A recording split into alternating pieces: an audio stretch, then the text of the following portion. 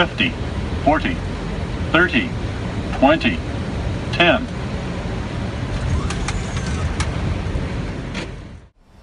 Hi guys, welcome to another Flight Deck 2 Sim tutorial. Today I'm going to show you the landing technique for the 737-800 using the PMDG NGX. The method I'm going to show you is exactly what I applied in that video you just saw there uh, uh, to make a safe and stable landing in a 737-800 and it's exactly the method we use to teach our cadets during the type rating. So, we're currently holding at Bombo, which is a waypoint just north of Luton. I'm all ready for the approach into Luton, for the ILS. Uh, just want to talk you uh, through the technique we use when coming into land uh, manually. Alright, so the first thing to note that a successful and safe landing is from a safe and successful approach. So you need to be fully stabilised by these things you might have heard me talking about in my other tutorials called landing gates. So for example today using live weather in Luton the landing gate is 500 feet to be stabilised at the landing gate, we need to be on approach criteria, so one dot on the localizer, uh, one dot high or low on the glide path. We need to be uh, approach speed of VREF to VREF plus 15. We also need to have a maximum rate of descent of 1,000 feet per minute. If you do not meet uh, any of those criteria you can see listed there, cannot continue the approach and we have to fly a go-around. So as long as you make that criteria, you can pretty much uh, have a good shot at safe and successful landing. Now, the method we use uh, when we're coming into land, landing manually is something called check, close, hold. Uh, and this landing technique works like this. When we get over the threshold, uh, we should be at approximately 50 feet for a 3 degree glide path. And essentially, when we pass 40 feet and 30 feet, we don't do anything except we look at the end of the runway. Uh, we shift our visual aiming point to the end of the runway. Uh, and then at 20 feet we initiate this check. Uh, now this check basically means we want to slow the rate of descent by initiating the flare and all we do uh, initially is increase your pitch attitude by approximately 2 to 3 degrees and that's called check. Uh, soon after we've checked we want to close the thrust levers and we do that by smoothly uh, reducing thrust and the idea is that when we touch down using the main wheels the thrust lever is closed so we want to check, close uh, and now on the 737-800, uh, with the underslung engines, uh, they have a, a, huge what we call pitch to thrust couple. So when you reduce thrust on this aircraft, the nose wants to drop. And when you add thrust, the nose wants to go up. So when we do the check and then we close the thrust levers, we have to then hold the attitude. Now by holding the attitude, uh, we just essentially don't want the nose to drop uh, to make a firm landing We also, though, don't want to increase the nose attitude uh, to try and get what, what, a lot of people seem to call a greaser.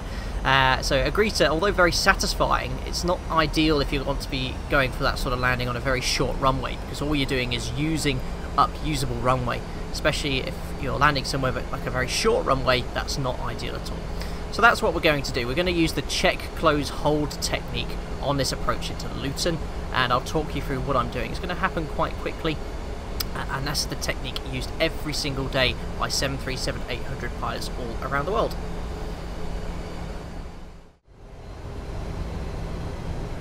Alright guys, so we're just turning base for this approach into Luton now. Uh, we'll imagine that we've been cleared to land already, so I'll just pop those lights on and I'll try and talk you through during the landing flare that check close hold technique. It does happen very quickly here. Uh, so just got the speed brake out, stove at now as we are approaching our base turn, matching the heading. So this is very typical for an approach. Uh, you can see Luton there to the left-hand side. If it's absolutely uh, clear like this, we can usually request a visual approach and then we can use LNAV and VNAV, which I'm uh, doing now. But you can see more information about that on my visual approach tutorial, which you can find at the approach playlist. Uh, so here's the ILS coming in uh, nicely. We're descending to 2,000 feet hopefully by the time we turn on final, uh, we'll be on the approach. So I can arm the approach now in preparation for that, and I'll shortly configure gear down flap 15 as soon as we turn final. It's flying over Luton, there you can see the airport clearly. As I said earlier, we are using live weather. It's uh, unusually warm in the UK at the moment. Uh, I think it's about 24 degrees down there today, so very nice indeed. We're all looking good. This is a very nice, typical uh, speed to fly uh, on base. So there's VOR/LOC glide slope capture. We can match the runway heading to 076. And the missed approach altitude we can now set, which is 3,000 feet. That is now set. Good, so now we're about 5 miles turning base, so we can go gear down, flap 15, landing checklist, to flaps match the speed. So, start switch is continuous, recall is check, speed brake, arm green lights, landing gear is down 3 green, autobrake is 3. Uh, we're going to use flap 30 today. You'd actually probably use flap 30 in Luton, uh, but it makes a lot more sense just to do 30 because it's easier. Alright, so now we're on final. We'll talk about that landing gate. We are fully stabilised at this moment in time, uh, and we'd have to be in this configuration now uh, to be at 500 feet. Uh, fully stabilised. We're on the localizer, on the glide path, at an appropriate speed. Now, you can see on this table is the uh, pitch and thrust settings, uh, the landing flap, flat 30 in this case. So gear down, your percentage N1 for a 3 degree glide slope for flap 30, uh, 60 ton aircraft, which is approximately what we are, is 1 degree and 57%. Now you can see here, if we bring up the PFD, we've got that. It's approximately about 2 degrees today, and about the thrust was a bit low today. I think that's more the PMDG setting. Uh, we haven't got much of a head, uh, headwind, but typically you'd expect about 57% N1 uh, to maintain your approach speed, which we are at the moment. Alright, so uh, we're just coming over the 500 foot point there. Uh, so just finished the landing checklist, so got flaps confirmed, got 30 green light and the landing lights are on, we're being cleared to land, alright. So now I'm going to disconnect the autopilot and auto throttle, uh, which I've done now. And we're just going to do this check, close, hold technique, which I'll talk you through what I'm doing using my joystick. It's actually a lot harder um, using Flight Simulator than in real life, funny enough. Uh, but that's fine. Alright, plus 100's check, just checking the thrust there. Three reds, don't want to get too low. Land, we'd say at minimums, as the approach lights there. Coming over the threshold, when you're in the real aircraft, you want to be looking uh, initially at the aiming point of being the PAPIs. At 50 feet, so we're going to look at the end of the runway. Check. Close the thrust levers, holding that attitude. Don't let the nose drop or rise. Floating a little bit. There we go. Touchdown.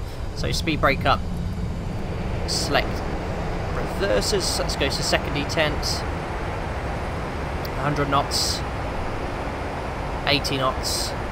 And 60 knots. Cancelling reverse. Cancelling the autobrake.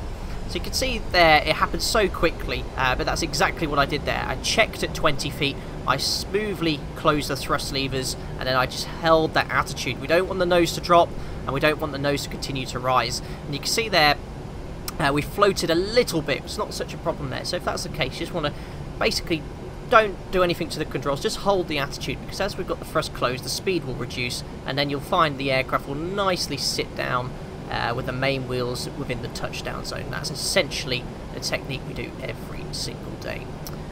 Alrighty, so I'll just bring it to a stop there and set the parking brake. So that was quite a quick tutorial, just covering the landing uh, technique. I hope you found that interesting and learned something new. As ever, if you have any questions, if you want me to explain something in more detail, feel free to leave that in the comments section. Don't forget to like and subscribe, and if you have any other tutorials like me to do, feel free to send me a message, and I'll see you again very soon for another Flight Deck 2 Sim tutorial. Take care, and bye-bye.